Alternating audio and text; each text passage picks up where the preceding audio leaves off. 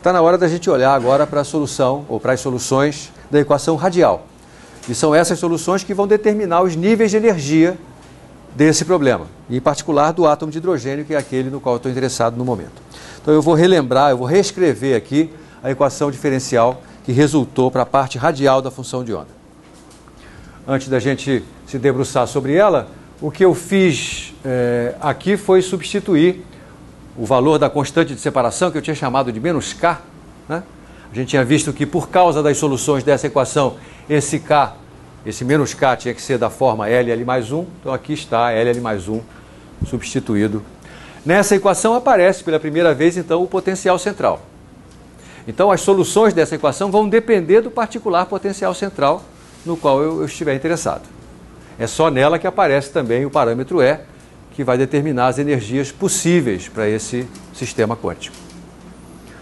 Um primeiro comentário imediato é o seguinte: essa equação tem um parentesco muito grande com uma equação similar a, a, a ela que aparece na mecânica clássica. Um problema de dois corpos com potencial central em mecânica clássica a gente pode separar graças ao fato de que ah, o centro de massa vai ter um movimento uniforme e aí resulta uma equação diferencial para o movimento relativo.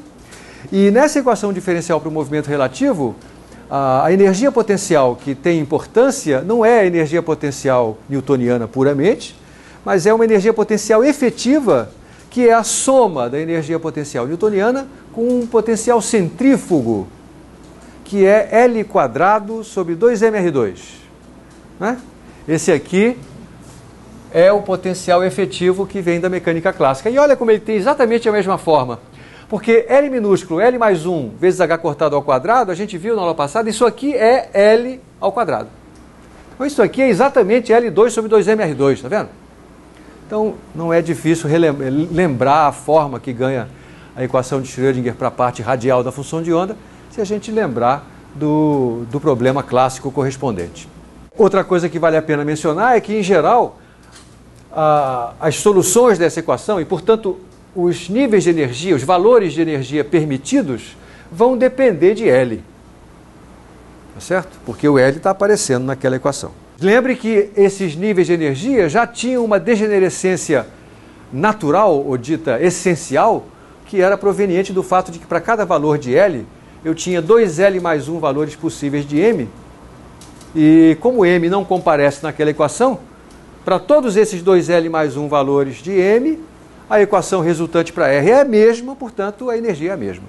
Além disso, é, no caso específico do átomo de hidrogênio, do potencial colombiano, vai aparecer uma nova degenerescência, que é chamada de degenerescência acidental, e que tem a ver apenas com a forma desse potencial. No caso colombiano, essa energia potencial ela é proporcional a 1 sobre R, a coordenada radial. Neste caso, vai resultar que os níveis de energia não vão depender de L.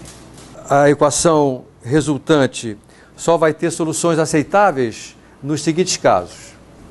Outra vez, eu não vou demonstrar isso, eu teria que resolver essa equação. Essa equação aqui só pode ser resolvida por um método chamado método de Frobenius, método de expansão em séries. E aí a gente vê que para que a solução ou a série resultante seja convergente, tenha significado físico, isso só, é, só, só será possível se a energia tiver essa forma, onde aqui eu substituir a letra M maiúsculo, que representava a massa da partícula, pela massa do elétron, porque agora eu estou interessado no átomo de hidrogênio. Então é isso aqui que vai resultar. E só tem a solução fisicamente aceitável se esse número n que aparece aqui for um número inteiro maior do que L. Esse termo, esse, esse conjunto de símbolos que aparece aqui, já apareceu na nossa vida antes. Essa é a energia de Rydberg, que foi obtida por nós no contexto da solução do átomo de Bohr. Lembre que o átomo de Bohr ele foi muito bem sucedido é, na tarefa de reproduzir a fórmula de Balmer, que era um resultado experimental. É, o átomo de Bohr ele consegue dar conta da experiência, do, do, do espectro observado do átomo de hidrogênio.